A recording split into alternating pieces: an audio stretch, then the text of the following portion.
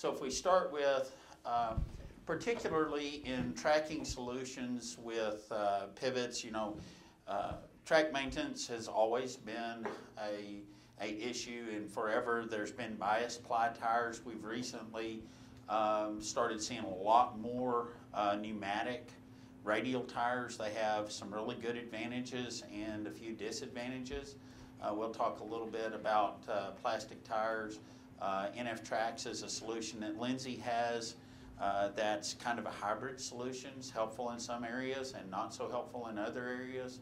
Uh, there are solutions with three-wheel base beams and four-wheel base beams that are out there to help you, you know, try to manage those tracks. You're never going to really eliminate eliminate them. It's just how do you go about managing the tracks. So um, this is kind of a, a shot of uh, some different things, but uh, you're you're you've got like a oh come back here. You've got uh, over here. You've got just a small pneumatic tire. This is like a 38 inch pneumatic tire, and these are all in the same field or same area.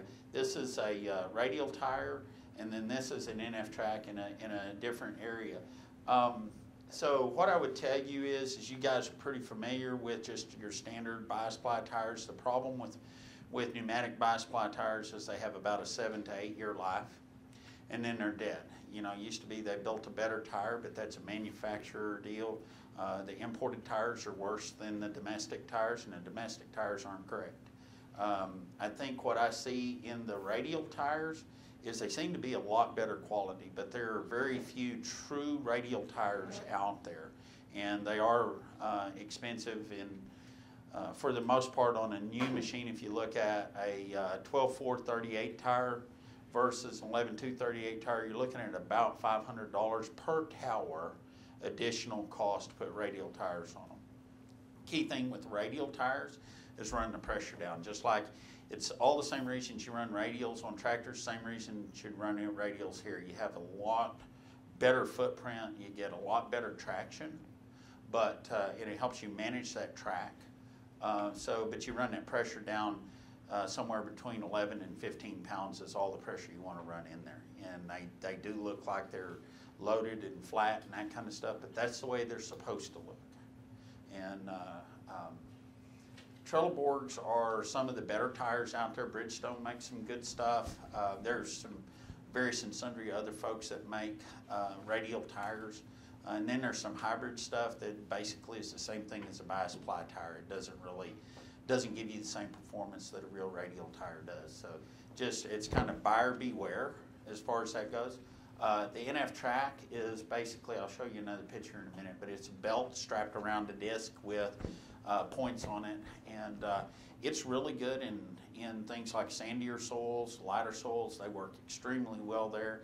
You get them into heavier soils, and anytime that your windshield wipe them, they're not a very good solution because you just end up with so much water at the edge of the field that they'll want to try to go to the bottom. If you've got a heavier soil and you really want to do some work with track management, radial tires are probably the best answer.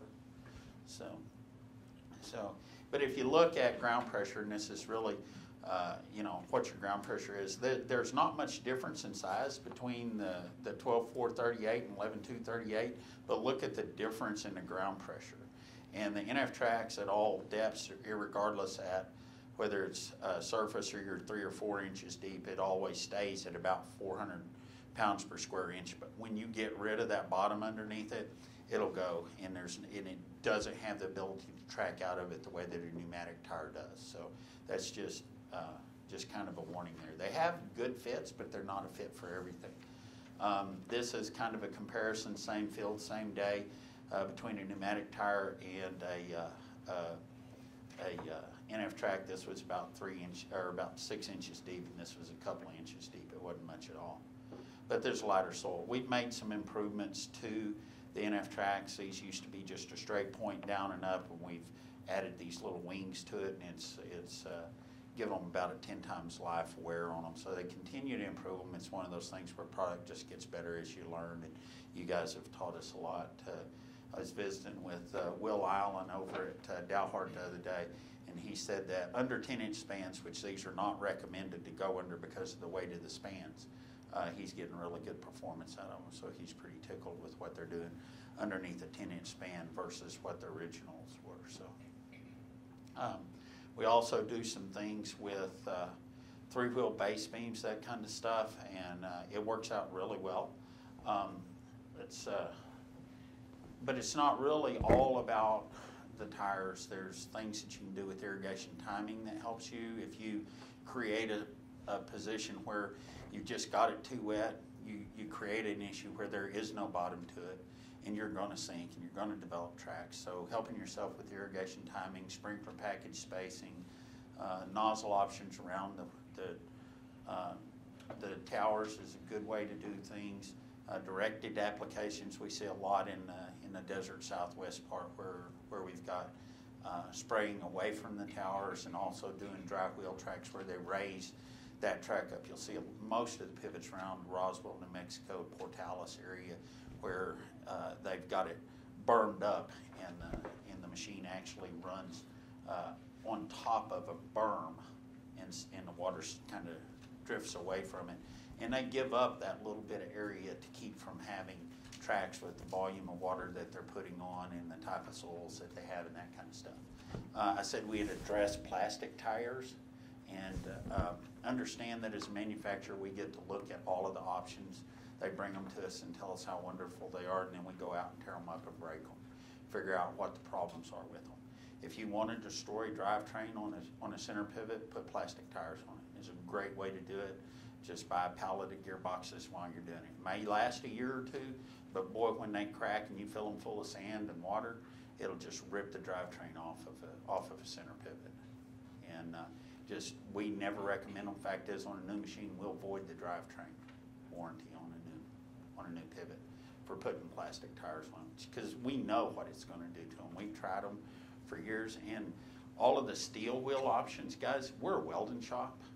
If we could go in, it, all Lindsay Manufacturing is, is the biggest, nicest welding shop you've ever seen in your life. And if we could build a steel tire and make it work on a center pivot, we would have done it a long time ago.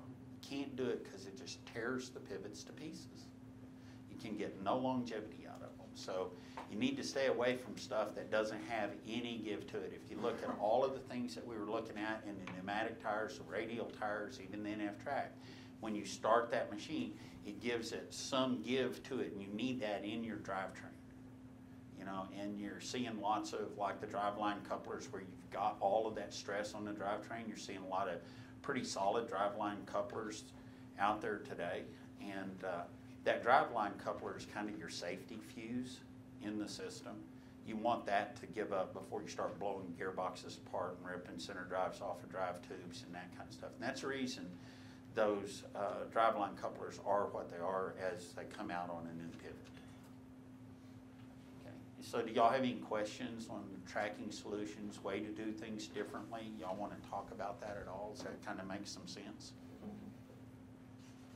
Okay, and, and I know I'm pretty negative on the steel wheels and the plastic wheels, but I've seen some of the most horrible wrecks that you could ever see. And guys put that stuff out there and, you know, three or four years later, it's all in a stack behind the barn. It Just, just creates so much trouble, and I just recommend you stay away from it. It's nothing but trouble. Okay.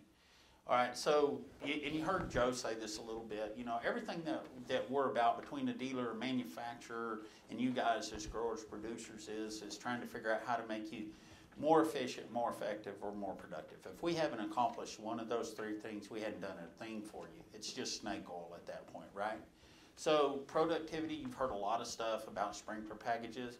Closer together, closer to the ground, you're gonna get more water to crop availability. We, we discussed that, right? So here's the part that I didn't really hear much anybody discuss. Those orifices out there have a lifetime and you can go, you can figure it any way you want, but the easiest way to look at it is, is somewhere with the volume of water that we pump and the sand that's in the water, about seven years, you need to go through and just completely put new orifices in a machine. It costs you less than a couple of bucks a piece. When you get done and you've got all those orifices in a bucket, don't go put them back in the barn. Throw them away. Put them on a sale. It do, yeah, do something else with them, but do not, do not put them back in the barn. Because they were worn out and you're not gonna take them and fix something with them. Cause that's what'll happen is you go in there and dig around and say, oh, well, that one's close, it's within a couple of sizes, we'll go put that one back on. And today, we're talking a lot about precision application of water, getting it where it needs to be, when it needs to be, so that you can do the most with it. The other thing that I'll say is on, just kind of as a rule of thumb, you know, at what point in time is the pressure regulator done? If you go through and you've replaced orifices and it's time to replace them again, get rid of the regulators at the same time. You usually get somewhere between ten and fifteen years out of a regulator, but at that point in time, it becomes a straight piece of pipe. And uh, Leon said something about testing regulators. If you're gonna test a regulator, you put a, uh, a pressure gauge on the bottom side of the regulator, but you also have to put an orifice there to allow water through it, because otherwise it'll just leak enough water through there so it'll, it'll show you an erroneous reading like it's, it's running at line pressure. So, and you need to do it where you've got plenty of pressure to, to set them, yes, Ken. So, Just a point from Nelson on their regulators. They say as soon as it starts to weep out of some of the sidewalls, your regulator's done. Yeah, that's another good, good way to look at, look at it, but at the very least, you get a couple of rounds down the road with them, throw them away, start over, you know. Yeah, they cost a little bit of money, but they, they really do a good job for you. So productivity really starts in the sprinkler package. Cause anything else we do after you, after that, if you don't have the sprinkler package right, we, we, it's, we, you limit what we can do to help you, okay?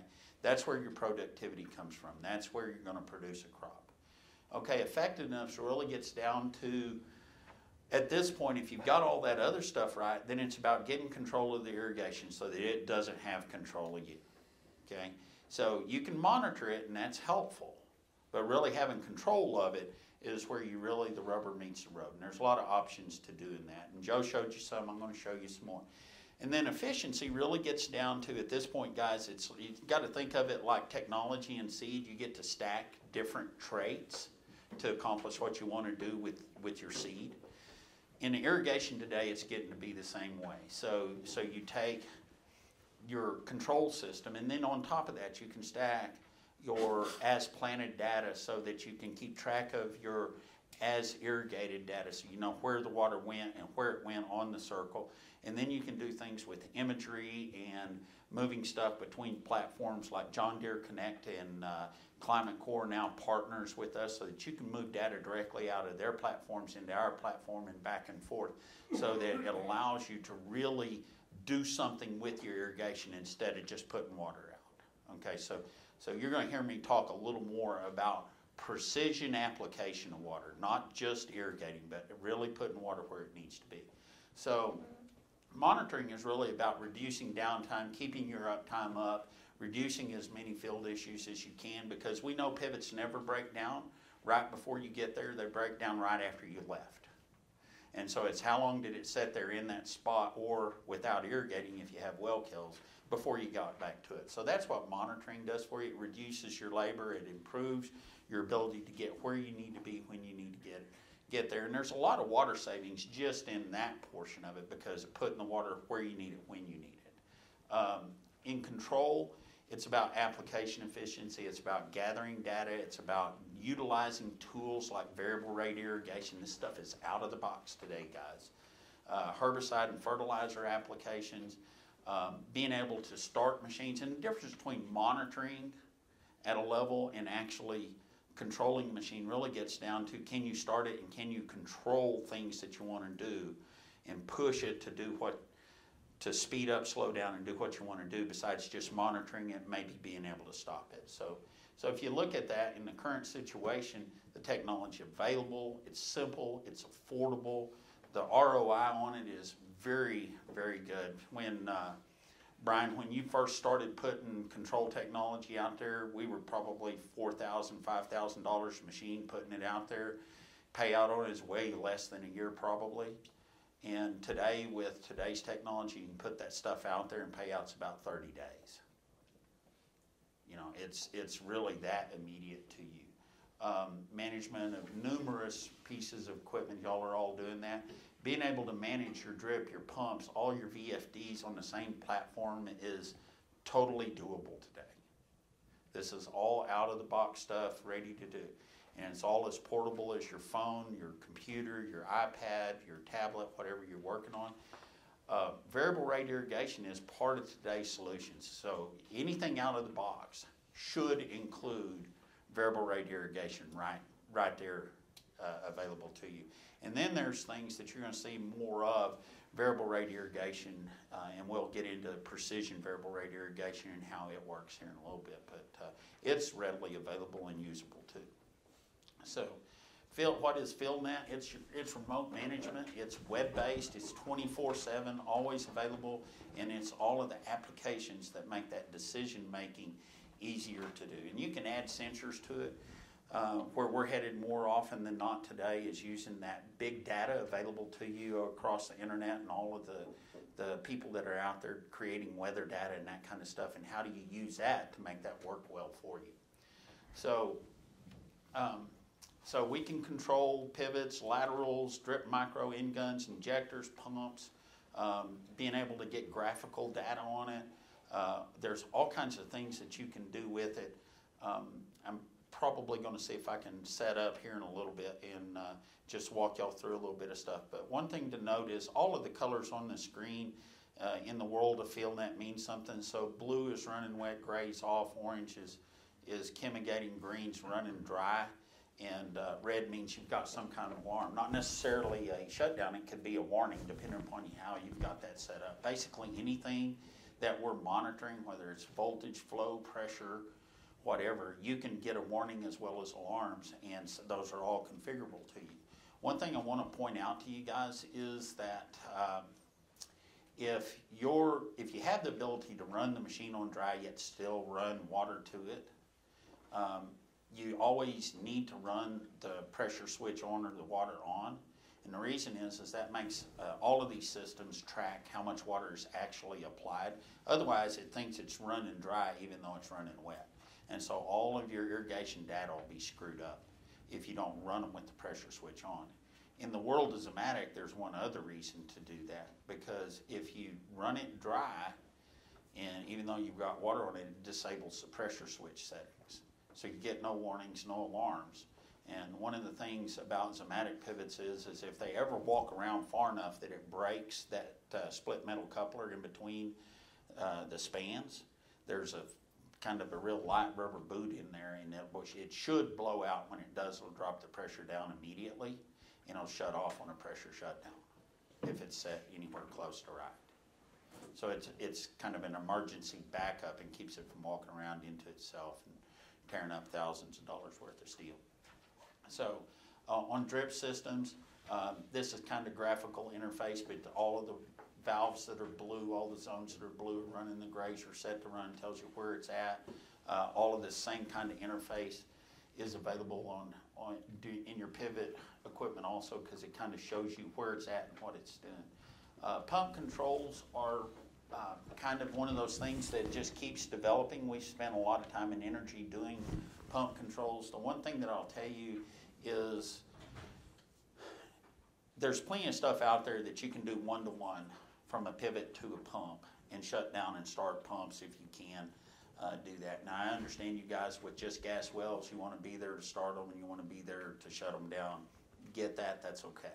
But if you got electric wells, it gives you a lot of opportunities to do some other things, and where you can, it's it's pretty cool stuff to be able to start and stuff start things. But you can have multiple pivots running configured to different wells, and then by using dynamic demand, based on what equipment's running, it tells the variable frequency drive how much pressure it needs in any combination. So you set all the combinations up, and so it makes it very dynamic about how how the the pressure system provide the wells providing water to you, um, how they react, and so it's it really makes it very efficient. So it's not just a set point; it's a set of set points, and if you shut something down, it also readjusts the entire system. So it's a lot of computer stuff in the background talking to one another, but it's really neat and it works really, really well. And one of the things also to note is there's all kinds of performance charts and stuff that you can, uh, you can get as well as just full-time management of your, uh, energy consumption. Um, so in reports, we've got water usage reports, uh, chem, chemical application reports, all kinds of stuff. Anything that we track, you can download and manipulate. Uh, you can download it as a CSV file, which means you can manipulate it in, uh, in Excel. So anything that we're tracking, you can, uh, you can download and move around, so. Uh, all of this stuff is available to you, so if, if, from the day that you start FieldNet to today, all of that, all of that data is yours, it's available. We've kept all of that, so some of the stuff that's been out there ten years running, all that data is still available. Um, the new, uh, FieldNet mobile app is, is pretty neat. It- We brought it out last year, there's lots of enhancements coming, uh, on the thing this year. Um, and once again, you can go to, um, to the App Store and just down the, download the FieldNet app. And on that FieldNet app, uh, it, it, uh, it gives you a lot of data. So it's very, it's very much just like looking at a panel and, and irregardless of what panel it is, if there's something that's not available to you, it'll be grayed out, but the, all of the, all of the, the interface looks the same regardless of what kind of panel that it is that it's communicating with. So it uh, does intuitive polling, so it's just like, um, in most of the other apps that you use to get it to refresh, you just pull it down and it'll refresh the app. And the reason that we make it do it that way is because downloading all that stuff creates a lot of data consumption, so there's no sense in downloading it every time you open it. If you want to just open it and make changes, then it doesn't download all that. Uh, all the soft you put in there are viewable. All your status indicators are all right here, so you can tell exactly where you're at. Uh, lets you know how long it is to the next stop or change, and tells you where the pivot's at and where it's going, which direction it's going, and allows you to change um, change your circle time, your depth, your percent, all that stuff's readily available to you there, so you can easily go in and tell it what you wanna do. You can do multiple things, then just hit apply, and, uh, it dumps it all over there and makes it happen. Um, the service stop, you can tell it to repeat or not repeat, so it's just a checkbox to save. Auto reverse and auto restart features are readily turned on and turned off within the app. Uh, we removed the edit mode, so you don't have to go to an edit mode, you just make your changes and hit apply. Um, so it has a map view, and the map view is really cool for a lot of things, but it also allows you to use a drive to function that's in there if you're sending somebody someplace that they don't know and they're, they're on your, uh, in your group of folks that are using, uh, you can just tell them, go here, here's your pivot road, and it'll drive them to it, basically, so. Um, gives you all of the information on your layers and, uh, your quick tray on it, so it's, it's all pretty nifty, straightforward, easy to use stuff, so. Um, End-gun settings, you guys are saying, why in the world is he talking about end-gun settings? So the end-gun settings are really cool because it uses the satellite imagery. It allows you to uh, enable and disable them, allows you to touch, drag them around, nudge them because you can hit on the plus and minus buttons. You just grab this cert, this little piece here, and you can drag it this way, drag that one that way, and uh, say, well, that's really neat. If we had end-guns, that'd be cool. Well, we needed to do that with soft barriers. And we, if you squirt a little water on a uh, county road in Nebraska, probably not a big deal, but if you run it over a barn or something, it's probably not a good thing. So what we did was, we used this to figure out how to do it, and now this becomes your new soft barrier uh, uh, unit. So everything that's in red is behind the barrier, it's only watering there. So if you've got two crops, you can pull your soft barriers around, get it nudged up exactly where you want. The yellow line is exactly where the pivot's at.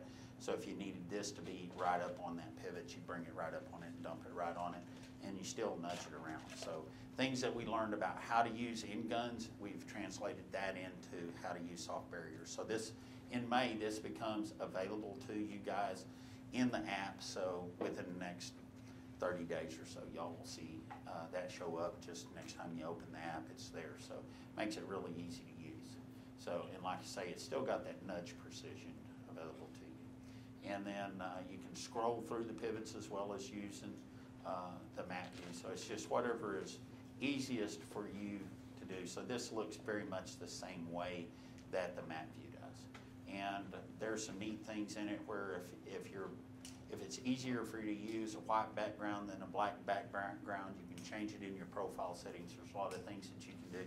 If you've got people that read and understand Spanish better than they read and understand English, they can change theirs to Spanish, their profile settings to Spanish. All their stuff comes in in Spanish versus English, yes. Is this Spain Spanish or Mexico Spanish? Because I've had that problem with uh, the John Deere uh, computers and tractors. I, I'm gonna say that it's Spain Spanish. It's, it's deep Mexico Spanish. It's not gonna be the stuff we talk on the border, so, yeah, so it'll be a different kind of. I haven't never hired any Spaniards, so I'll, I'll keep my eyes open. Yeah, but you might try it and see how it works for them. If it doesn't work, well, you're no, no further lost than you were. Um, FieldNet Advisor is kind of the, the next, uh, next, I don't know, uh, frontier out there. And in its simplest form, FieldNet Advisor is irrigation scheduling. Okay? And it's, it really gives, it takes into all of the stuff that y'all learned about irrigation scheduling, soil types, need for deficit irrigation, the need for cultural practices. Are you conventional till or you no-till? We all know that a no-till soil will infiltrate water a lot better than a conventional till, even better than a, than a, uh, a strip till. You know, so you, all of those cultural practices come into, into play as well as how much trash is out in the field. FieldNet Advisor takes all of that stuff into, uh, into uh, consideration. So, so it helps you with irrigation, it helps you with, with looking at where you're at with the crop, it helps you with keeping track of where the weather is. It's predictive, it is not reactive. Where soil moisture probes are looking at what happened in the past. FieldNet Advisor is looking 15 days in the future and historical averages from 10 years in the past. It grids the field down into five meter by five meter squares. So what that tells you is that by type, by, by soil type, by crop, by ET, by irrigation amounts, by rainfall amounts and soil water, it tell, it, it tries to derive and, and assist you with determining when and how much water to put on. So when you grid that down and you look at a growing season, there's something over eight million data points that get crunched in using something like FieldNet Advisor. And then the VRI Advisor is really nifty because it generates your variable rate irrigation plans for you. So it is, this is just kind of a graphical, this is how it's all laid together. Uh, so you put in the crop and when it was put in, or you download that there.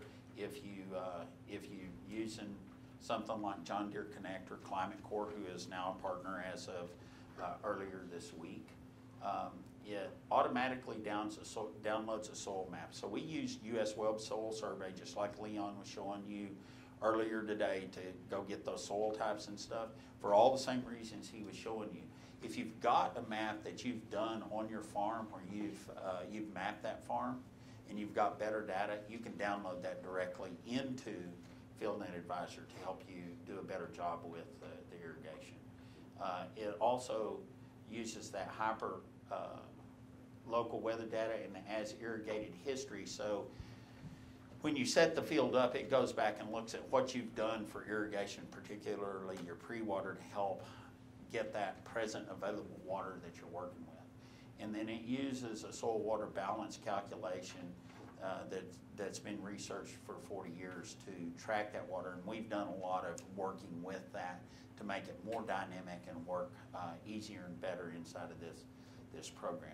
Uh, and then it grids the field so that we got a lot of resolution to it and then generates recommendations for the VRI prescriptions. You say, well, do I have VRI available to me?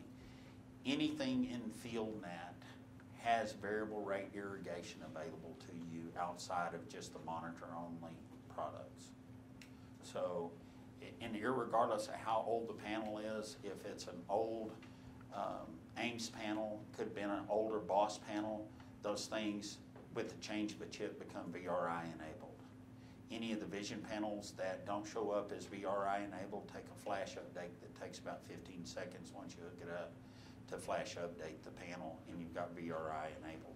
All of the pivot control products, all of the new products that have gone out in the last probably five years already have VRI enabled. It's straight out of the box, it's there, ready to work. Okay?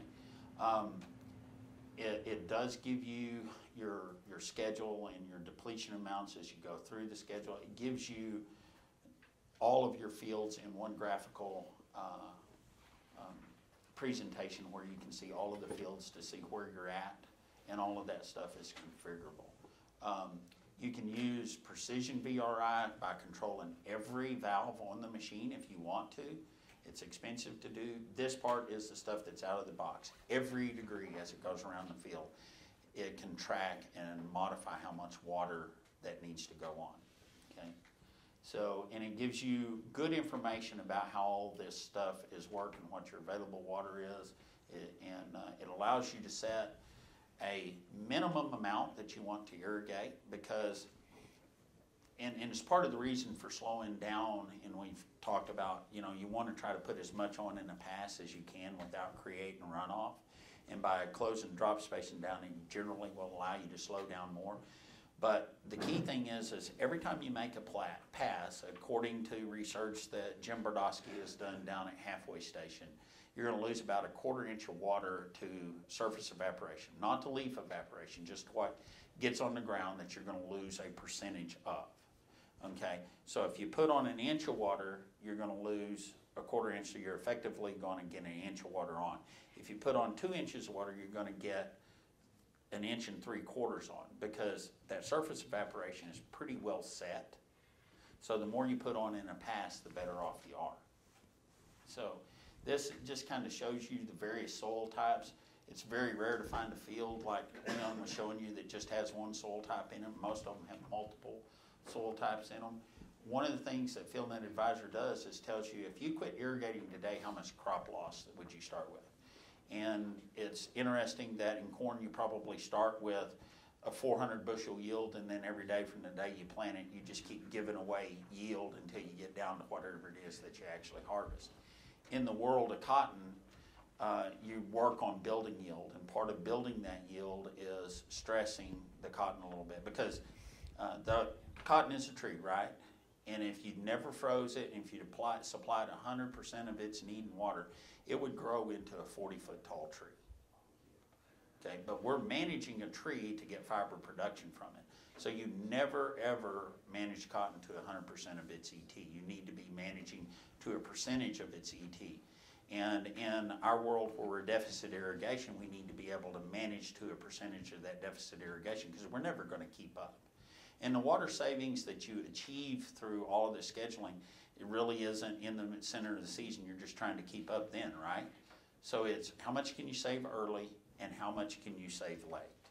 And our experience would tell us that, um, that you're gonna save about two inches to two and a half inches of water. So, uh, this stuff tracks right along. This is, uh, some stuff that came out of Nebraska. This would, uh, fit very well with what I learned down in Lubbock this year where we did one. But in this case, two circles planted side by side, same day, same farmer, same hybrid, same everything. He had a little bit of yield increase that across the one circle was worth about three grand. Here he saved about, uh, two and a half inches of water. And in his world, that was another thirteen hundred eighty-five dollars. So the difference just by using irrigation scheduling for this guy was well over forty-five hundred dollars. Okay, at Lubbock, we had two circles catty cornered from one another, it's actually out by Ralls. Cotton planted same day, same producer, one of them was eighty inch LEPA, the other one was forty inch, uh, LEPA, FieldNet, FieldNet Advisor on the forty inch. Uh, the other one, we had FieldNet and used, uh, CropMetrics on the south half of the circle, and we used, uh, just his normal irrigation methods. So on his normal irrigation, um, he, uh, he was putting on about an inch water every time he went around. Did some, uh, irrigation scheduling, held up a little bit on the, on the south half of the circle. Uh, what he's able to do was produce exactly the same crop with two inches less water. On the forty inch drop spacing, we saved an additional half inch of water, so we saved two and a half inches of water over what he normally did. We grew hundred pounds more cotton per acre, which was probably mostly had to do with precision application of the water, getting, using the forty inch drops. But in and amongst that, because we backed off sooner and we were backed off a little more, we were able to be two cents higher in the grade. So all of that works out, and this is the same gallons per minute per acre.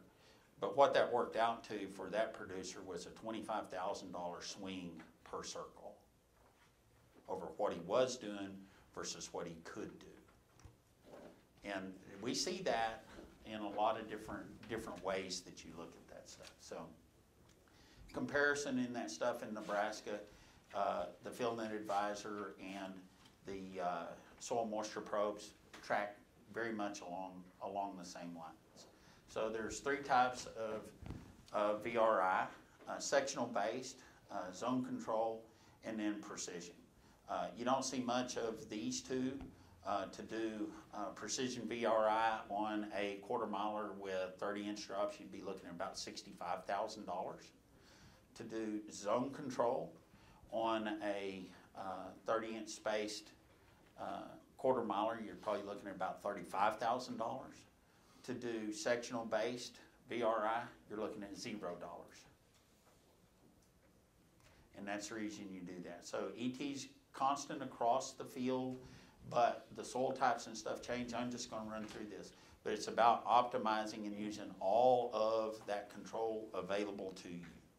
Um, one of the things that FieldNet allows you to do is to put as many people on it as you want.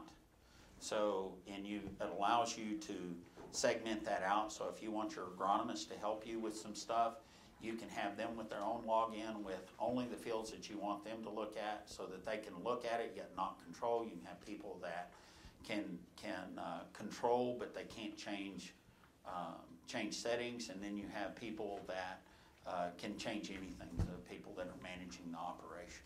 So there's a lot that's there that can be very helpful to you in managing it. Uh, recommend that regardless of whose system that you're using, that everyone have their own login. Because if somebody accidentally leaves your operation, you need to just be able to go and trash the bucket and, and delete their account so that they can't control your systems. It's way better than having to reset everybody's username and password and that kind of stuff. And it gives you control. That way, at least you can see who's doing what. Okay? Um, one of the things I, I wanna point out is, is, um, the barrier to using variable rate irrigation, the barrier to using irrigation scheduling is how much time does it take, right? Okay, the answer to this, and we had this discussion several years ago in Amarillo with a group of people that were researching variable rate irrigation and how, what the next things are gonna look like in irrigation is, is if you know all of that ET stuff, if you know all the soil types, plant dates, where you're at and that kind of stuff, you can spend hours generating schedules for crops. What FieldNet Advisor does for you is it puts it into your queue up of things so you can run a dynamic variable rate irrigation plan every day and it takes you about fifteen seconds. Long enough to go in, click on the plan and run the plan. Okay, if you wanna modify the plan, it takes about a minute. Cause it's tracking all this stuff for you. Now, if you wanna get your spreadsheets out and do that, by all means do it. But the beauty to it is, is we've eliminated moisture probes. Because we're good in the field. Does it eliminate your need to go out and check soil moisture? Absolutely not. Do moisture probes give you good data? Yeah, they give you good data for the area that you put them in. I've never yet had one of you producers come to me and say, you know what? My day is great today. I'm gonna get to go put in sixty moisture probes. And tomorrow I get to put in sixty more. And the good news is, is I'm only two weeks behind with getting them in, and I'll have to pull them out at the end of the season. But if this is tracking this stuff for you every day, and your job is, is to just go out and verify that it's on track, then that's, that's where we're trying to get to, okay? And it allows you on your phone to go in and adjust plant growth stage. If it's off, reset it, it resets the model. Every time you get a rainfall event, go in and adjust your soil moisture to what it is. Those are great opportunities to adjust your soil moisture. One of the things that we will do for you guys is there will be a report that you can print out from this system that will meet all of the NRCS needs for reporting. So your need to gather up data and report to the NRCS, because we're tracking rainfall and everything else for their basic irrigation water management, there will be a report there that you can go in and print, and so your amount of time that will, you'll dedicate to being able to print that report will be just a couple of minutes per field. Okay? So we're trying to make it as easy as possible for y'all to do this. And Precision VRI, I, I'm just gonna show you, so every drop has a valve and is controlled individually. So any polygon that you can describe underneath that field, you can describe anything you want, any kind of polygon that you want with GPS. And with that, you can put the water exactly where you want it into each of those pieces of pies or not put any water in there. It also allows you to do some things with uh, taking the water flow that you have, matching it through the meter uh, on the machine, and pulsing all of the nozzles and be able to uh, put that water exactly where it needs to be. So it's, it's pretty, it works really well. The problem is, is it's just, it's not economically viable in most people's operations. You really have to have something special to want to do that, so. um, So with that, um, I want to jump on the website right quick and show y'all a couple of things if I can. But uh, I'd be willing to answer any questions. Have any of y'all looked at FieldNet Advisor at all? So Brian, what do you think? It was pretty accurate. Last, this last year, the first two years, three years ago, Two years ago? it yeah. was a little bit wonky, but I think they got the bugs worked out of it, and it was dead on pretty much most of the season. And you, yeah, you do, I mean, depending kind of on the weather, you do have to go in there and adjust a little bit every now and then, but it's not very often. Now, that's, that's kind of where I'm at with it too, so. let's See if I can get this hooked up. Maybe, maybe I missed it, but you have to run Synaptics to No, you do not. run the other guys. No, it will work. One- It's, it's one of those deals, uh, there's absolutely nothing that prevents you from using it outside of, you've gotta have FieldNet. Cause it won't work with something that doesn't track it by every degree that it goes around, it can't, it can't generate that kind of data. Oh, that's HDMI only, so that won't work. Can I jump out to the internet here? What's the cost? Yeah, what is the cost? Okay, so the cost. The money. Okay, yeah, and that's the cool part about it. Okay, so FieldNet costs you somewhere, most guys are, we reduced the price on FieldNet by twenty-five percent this year. So just your subscription on FieldNet went from four hundred dollars less to three hundred dollars less, less quantity discounts, less, uh, auto renewals, okay? So that's, everybody's paying somewhere in the 200, 250 range. If you got radio stuff like Brian has, it's down in the way under two hundred dollars. Okay, on the, uh, the FieldNet Advisor list price is four hundred fifty dollars. And then you take your discounts off that and everybody's paying somewhere in the three twenty range or something like that.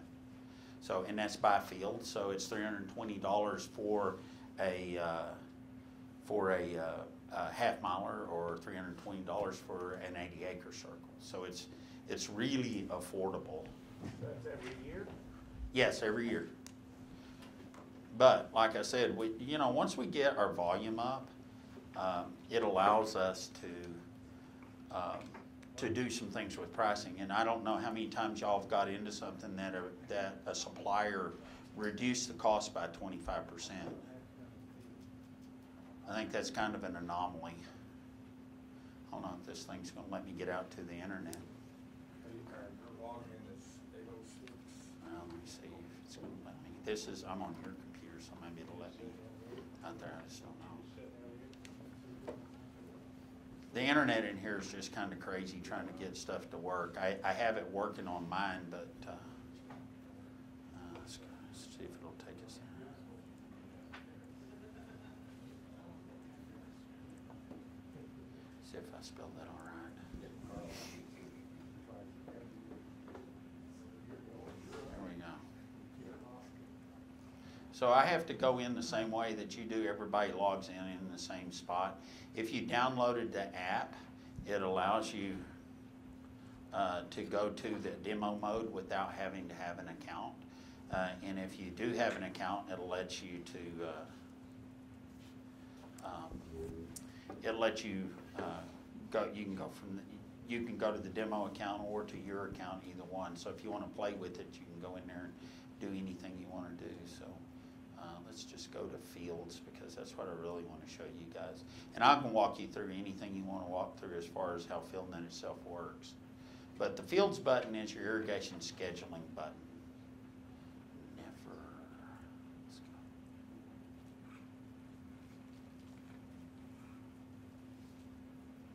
Come on.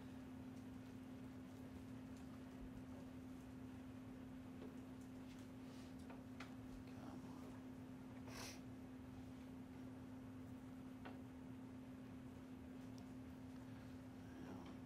go back.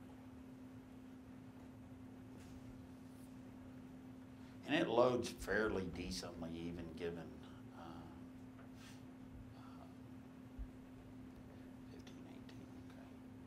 So, um, even given the fact that we got a really slow internet connection, it works really good. Where you got even a half decent internet connection. Come on, load up. Um, but the main thing is, is being able to go in, it's, it's like all things in the computer world. Anything that, that you do trash in, you're gonna get trash out, but if you'll do a good job of setting it up to start with, note your cultural practice, go in and, and adjust things. Uh, one of the things I wanna note is, is we started out and we didn't have the available water on this field set up right last year. But uh, right now, it says this field is, is really in great shape because it's nice and green, which means it's right in there. The producer and I both went out there at the same time, or the same day, uh, a few hours apart, and dug about four holes apiece. And we think this field has about seventy-five percent available water today, and that's what our green tells us. It's not in stress at all, even for this time of year. So, um, set up, let's go to, uh, field boundary, one of the things that's uh, nifty in field boundary is, is that, uh, come on, you can do it. It's just gonna be slow. Okay, so you, to set up the field boundary or whatever else is you just draw a circle around it and then you can use this little button here and it sets it to the size of the circle that you have in the system. Um, Soil zones is uh, nifty, and this is where we pull that data from US Web Soil Survey.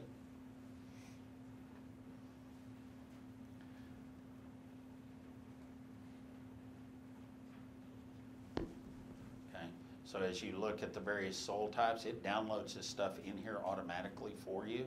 And if you've got a little bitty area, let's say this was just a teeny area over here, you could go in there on this area and you could set this from its priority of normal to, to low priority, and it wouldn't drive the irrigation recommendations for that, for the field based on that.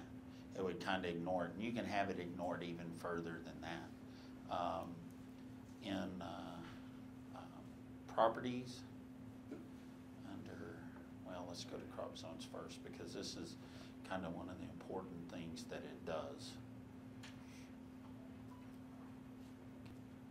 So it, it allows you to choose uh, the crop that you've got, and virtually everything we grow out here is available in the crop list. So all of these crops are available, and we've got six more coming this year, uh, including hemp for the guys in Colorado that have determined that they need to grow some kind of hemp underneath the circle. Um, uh, you put in your planting date, you put in your relative humidity or maturity from that planting date. It calculates the GDUs for you. Here's the tillage practice button. So if this were a no-till field, you could put no-till in there and it would default the residue cover to sixty percent. So if you had more than that, you just go in there and change it to eighty percent. Uh, we did some cotton after cotton stuff where we had about twenty percent. You can do that, just go up, click the button and save it, okay? If you were gonna download, uh, from, uh, from the, in- from the net, you could go in here and download, uh, up here on your crop zones, when you do that, you can download that from, uh, from John Deere Connect or Climate Corp, are the two partners that are doing that stuff now. uh, under settings. Okay, here's where you put your minimum irrigation amount. Uh, last year I couldn't get him to irrigate under a level that was less than an inch. He'll, he'll irrigate to, uh, to an inch or more anytime he irrigates this year. Once we get a crop established, he's figured out that slowing down is good. We'll probably slow down. He had no runoff problems. His only circle he had that he didn't have runoff problems. And we'll probably slow that down to an inch and three quarters this time per application. Uh, gives you your stress buffer available there. Um, so it gives you, uh, some nifty things that you can do there. Uh, let's look at alerts. This is a really neat thing here. So it gives you all kinds of alerts. And so if you set a field up with FieldNet Advisor and uh, you've got all the alerts here, what I would tell you to do is go in there and set all of them to none because you don't need all that noise. You got enough noise in your life with just managing irrigation. You don't need noise in your life from irrigation recommendations. You need to look at that once a day. Let's go back to the dashboard. This is the, uh, one of the neat things. Um, and I was telling you that it would generate an irrigation schedule for you in short order. And I'm gonna show you how to force an irrigation schedule. So if you want an irrigation schedule on a field, you click on that button. The update started, and so most of this is gonna be how well the, this internet connection uh, communicates back and forth. But uh, hopefully it'll give us a, an update. Usually it takes about 15, 20 seconds. And so that's how long it would take to generate a, uh, a schedule. So it's gonna be more along the lines of how quick it actually is able to communicate. Your variable rate irrigation schedules are right here. Here's one that he wrote himself. Here's some plans. Uh, see, this one was generated today at 8:03 this morning. Okay, so that allows you to dynamically go in and run those every day, take into account what's predictive, what you've already done, uh, any irrigation that you had in the field. If there's a spot that something happened, then it, it allows you to go in and it will dynamically uh, create that for you. One of the things here, uh, let's see, it's still, still working out there doing our, our deal. Uh, adjustments are really important. Um, irrigation adjustments, we didn't make any irrigation adjustments on this, but let's say somebody ran one dry and you needed to keep up with the water on it and they ran it twenty degrees from zero to twenty. Okay, and you wanted to, and it was putting on an inch and a half of water, so you could put one point five and save that and it adds an inch and a half water in that area so that you can keep up with your as-applied irrigation. So that's really important to driving all the models to make them work. Um, Available water, yes, I want to leave. Available water is one of those things where after a rainfall event is a great time to adjust any available water out there, and you can do that by crop or by crop and soil type, and the ones that we made were by crop. And so, uh, let me see if I can scroll down here. Uh, we made two adjustments, both of those after rainfall events. We had good, we had good rainfall, it was, it was standing in the rows and stuff. We made two adjustments this last year, set them both, reset them both to ninety percent. We were off by about two percent, but there was no reason not to take it, uh, take advantage of the ability to adjust that soil moisture then. And you can track your irrigation events as, as being different, but one of the things that FieldNet Advisor does is it, um, it does not keep tracking irrigation or rainfall after a point that you're reaching just total saturation and runoff. And by example, we had a field down at Pearsall, got nine inches of rain over two, two weeks. And it quit tracking rainfall after four inches because everything was totally saturated. So what it was able to take advantage of, it tracked. Uh, crop growth settings and whether it's corn, cotton, wheat, whatever, you have to track your uh, crop growth settings. All of this stuff can be done out in the field. Uh, on this particular deal, we had made an adjustment here at second leaf. Uh, we made an adjustment at first square and first bloom. We were off by a day on each one of those where we felt like we'd hit fifty percent or more of the field. And the rest of the year, there were no adjustments that were made in this field. And uh, it gave a recommendation to quit watering. He wasn't comfortable with quitting watering, but he went ahead and did it. And that's how we saved the two inches of water. That's how we got the better grades, and that's how we got the yield. Okay. This is totally doable across the board, regardless. I believe in crop. Our experiences are kind of across the country. If you're seriously irrigating, even if you're deficit irrigating, uh, it allows you to, to go in and uh, um, do some things that allows you to, to tap the brakes. You know, and that's kind of the key thing. But if you save two inches of water, you're gonna pay for that four hundred and fifty dollars. You'll pay for all your monitoring, okay? If you raise a little more crop in addition, and that's, that's like a bonus. If you get a better quality out of it, that's like another bonus. So there's kind of no reason to do that. Here's, uh, one of the deals, uh, we were talking about, you know, at what percent of ET do you run at to keep it from screaming at you all year? Because we're not gonna hit hundred percent of ET on virtually any crop that we grow out here, right? We don't have enough water. So you set it to a percent of ET that's based on what your knowledge is of your farm and your water supply and what you wanna do. You would never, ever try to grow cotton to hundred percent of ET. It Just doesn't work. But somewhere between sixty-five and seventy-five is probably a pretty good number. And so if you drive off of that, you're pretty good. The key, key thing is, is if you really want to, to go in there and mess with it, and which we did on this one, we changed it to sixty percent of ET at the end, uh, after we had decided to quit irrigating, so it quit driving recommendations altogether, because we wanted to just have a screeching halt on it. But you can, you can cut, you can make a cutoff on it. But it does give you recommendations in your corn. It tells you how much crop loss that you have. But like I say, it's trash in, trash out. If you do a good job with your setup, if you do a good job with maintaining that stuff, and all of your adjustments can be made in the field on your phone, your tablet, whatever you have with you. You do, don't have to write it down and figure out and come back to the shop. And if somebody else makes that adjustment, it's immediately viewable for everybody. So if you happen by after your agronomist has happened by and he's already made an adjustment, it's not like both of you are gonna be looking at the same adjustment. And as soon as you make that adjustment and save it, save it, it resets the model. Okay. Let's cut it here, uh, fifteen minute break, Ferris is up there, he's got it up, Yep. so we can go on up. I'd be ha- oh, one thing I'll tell you, if any of you guys are interested in doing, uh, FieldNet, FieldNet Advisor, uh, I will help you get hooked up on FieldNet. We'll hook you up with whatever you need. We'll do the first year subscription on FieldNet. We'll do the first year subscription on FieldNet Advisor. For those of y'all that know what that is, that's about three thousand dollars worth of stuff. Yeah, the two of them gotta go together, or, They, yeah, they need to go together.